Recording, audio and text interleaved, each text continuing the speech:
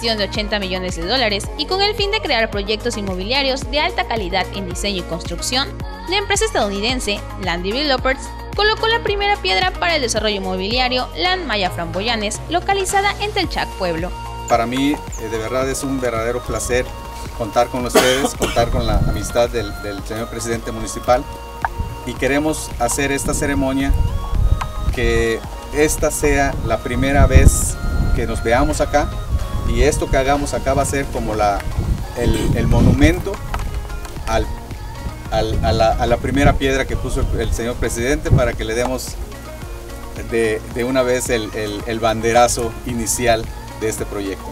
Este complejo consta de cuatro grandes proyectos, mismos que se van a realizar en un lote de 150 hectáreas. El primero de ellos será Framboyanes, con 455 lotes totalmente urbanizados, es decir, contará con los servicios básicos.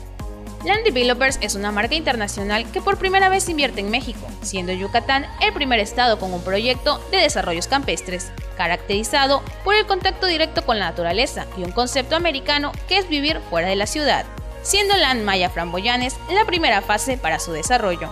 Por su parte, el alcalde de Telchac Pueblo, Jacobo López Álvarez, habló sobre la importancia que tendrá esta inversión en el municipio, como la generación de empleos y la derrama económica. Es muy importante principalmente para porque va a generar empleos acá en el municipio, no solamente acá en Telchac Pueblo, en todos los, pueblos circunvecinos, puesto que es un proyecto muy grande. Van a invertir estas personas del Grupo LAN cerca de 80 millones de dólares en construcciones aquí de, todo el complejo.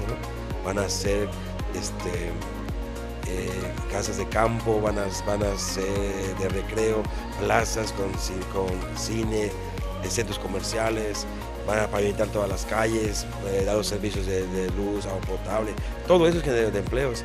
Y aparte cuando vendan cada uno de los lotes, pues tienen que construir casas y también allá es mano de obra que se va a necesitar. Y todo eso es genera de empleos grandísimo para, para equipar la población. Con imágenes de Antonio Ordóñez e información de Verónica López, Notivisión.